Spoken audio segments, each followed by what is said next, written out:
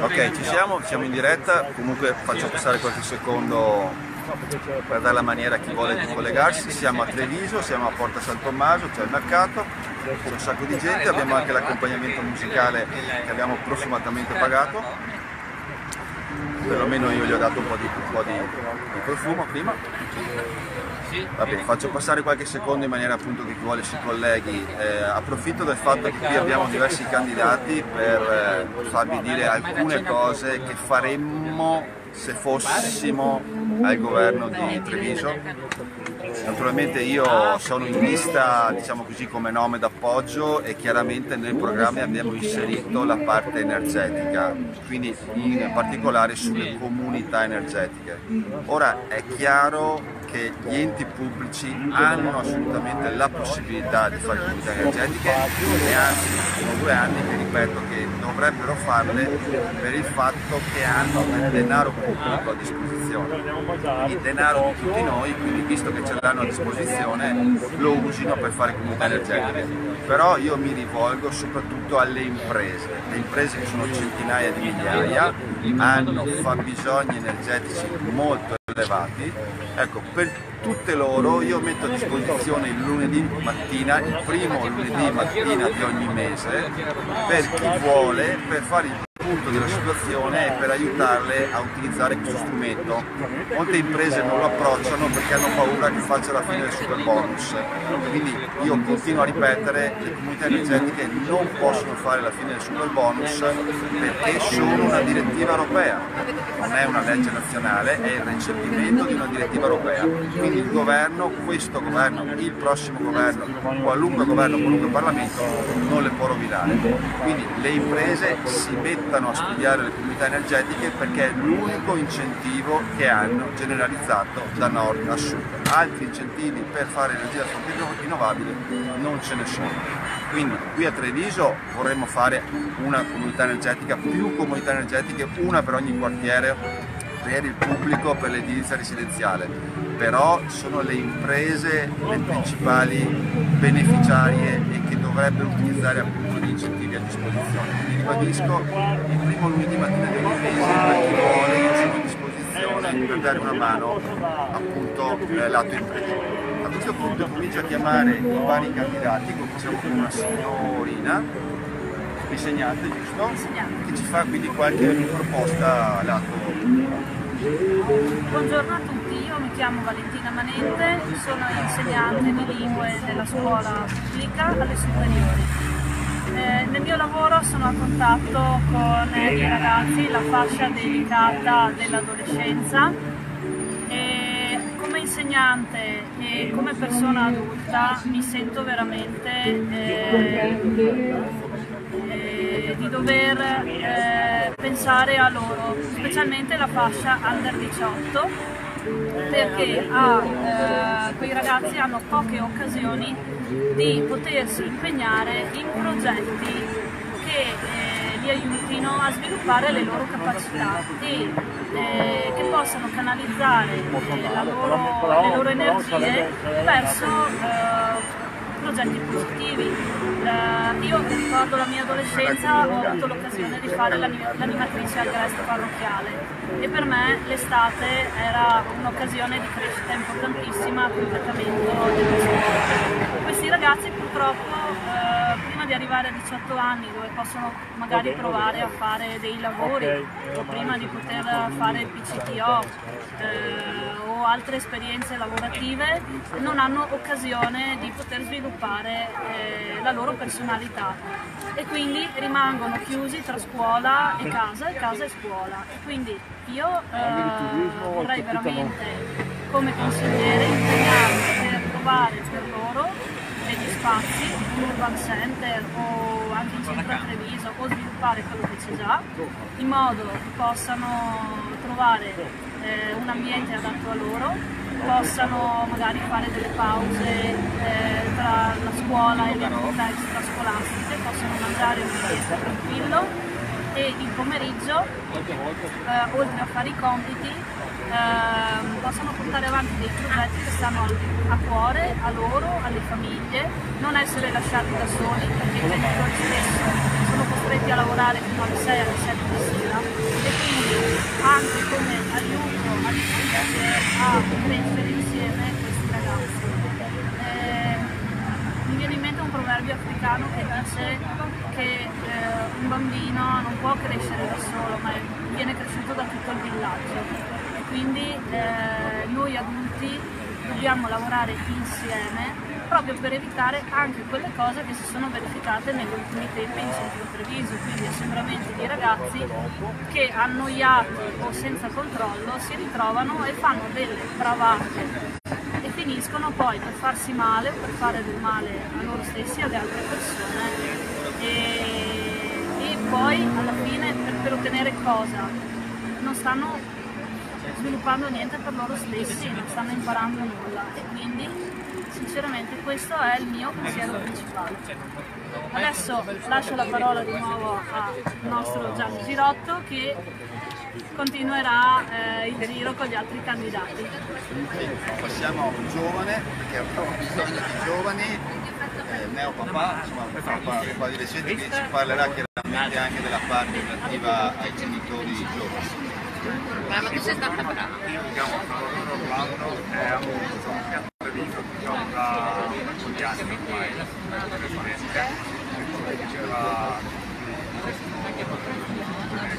però siamo, cioè io sono diventato papà da, da circa un anno, e praticamente mio figlio è nato qui in questa splendida città e, e, abbiamo constatato con mia moglie no, che non è, stato, non è facile eh, gestire e crescere per questo motivo il mio impegno si basa sul potenziamento dei asili ma anche per garantire un servizio che diciamo, abbiamo, che vorremmo proporre come Movimento 5 Stelle, ovvero quello della un albo delle terapiste, quindi una figura che sia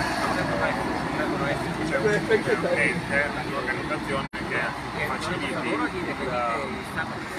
diciamo, il, trovare queste figure professionali che siano affidabili eh, perché è molto difficoltoso, specialmente quando ci sono emergenze, diciamo, il bambino si ammala, no, avere un supporto alle attività di tutti i giorni. Quindi questa è una delle proposte che diciamo, vorrei portare avanti col movimento.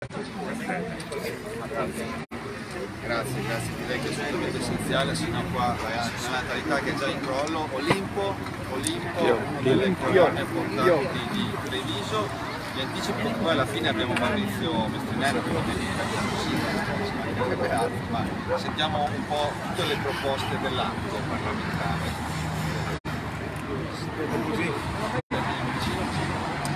Allora, noi abbiamo fatto finora una grossa battaglia futura di Treviso, specialmente sul parcheggio all'ex parcheggiodromo, assieme alle nuove associazioni che si sono coalizzate per impedire questo e, e, e questo è stato impedito, è stata una grande vittoria, soprattutto nelle nuove ma anche, anche nostre perché abbiamo messo in contatto le associazioni con Rita Vanin, senatrice che ha eh, contattato la, la sovrintendenza di finanza e in questo modo diciamo che abbiamo costretto la giunta attuale a fare un passo indietro anche se la, il progetto da precedente comunque le mura adesso oltretutto eh, per le mura arriveranno 6 milioni di euro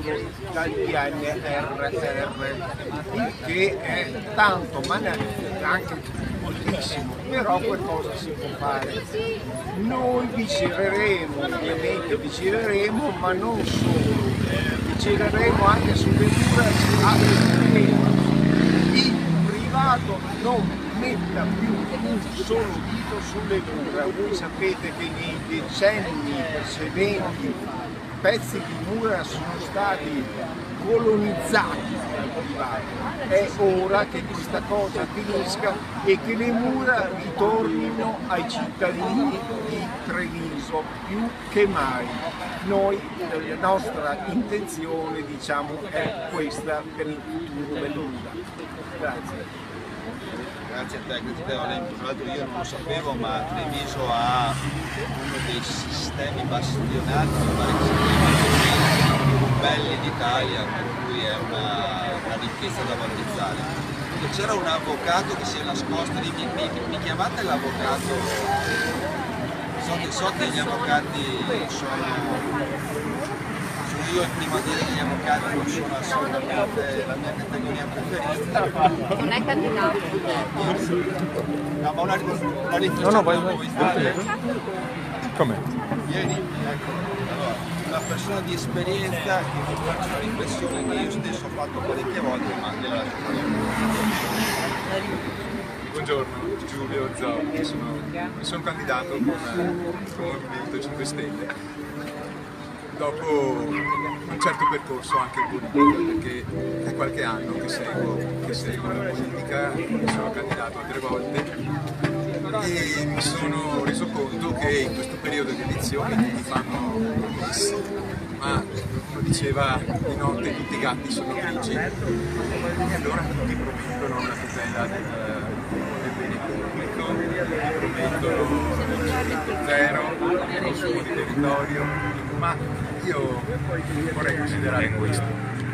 Vere, la vera campagna elettorale è già stata fatta, viene fatta, la vera campagna elettorale viene fatta durante il periodo in cui una lista, un'amministrazione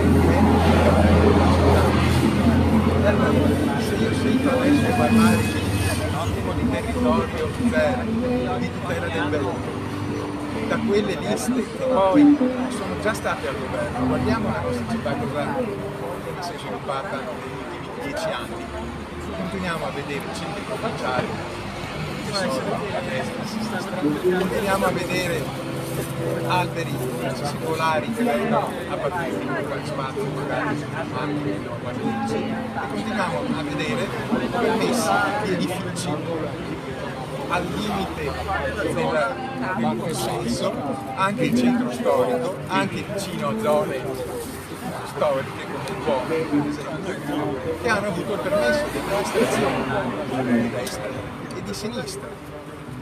Quindi io guardo i 5 Stelle come un movimento serio che ha fatto bene quanto è stato al governo e che soprattutto è stato coerente con quanto prometteva nelle campagne elettorali, a rischio di trovarsi a combattere con molti avversari.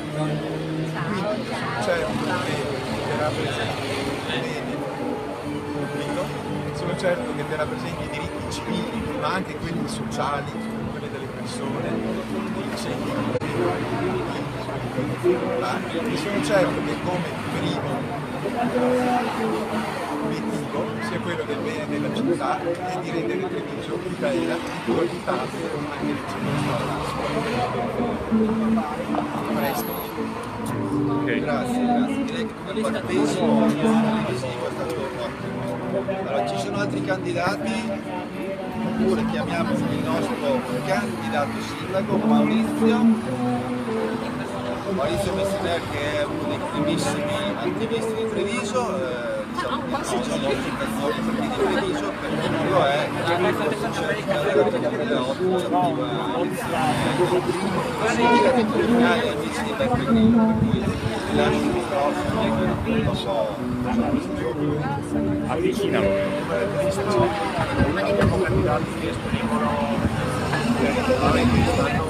che stanno contribuendo a far crescere programma che, con il quale Movimento 5 Stelle si propone per la città di Treviso. Stiamo costruendo un progetto politico alternativo al centro-destra e alla coalizione sulla centro-sinistra, un progetto politico che guarda al sociale, all'ambiente, alla difesa dei più deboli. Ci proponiamo di eh, allargare questa offerta politica lunedì ci presenteremo in conferenza stampa all'invito che chi è di Treviso e sta ascoltando la diretta o condividendo il nostro post per far entrare l'informazione ai trevigiani e al bar Ostinate vicino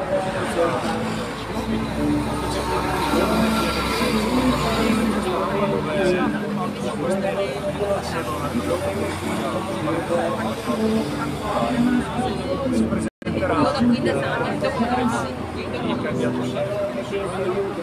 in questa collezione che si propone e continuare ad aprirsi invece temi alle forze civiche della che rispettano i temi sulla quale noi siamo, ci muoviamo e sulla quale non vogliamo lavorarci.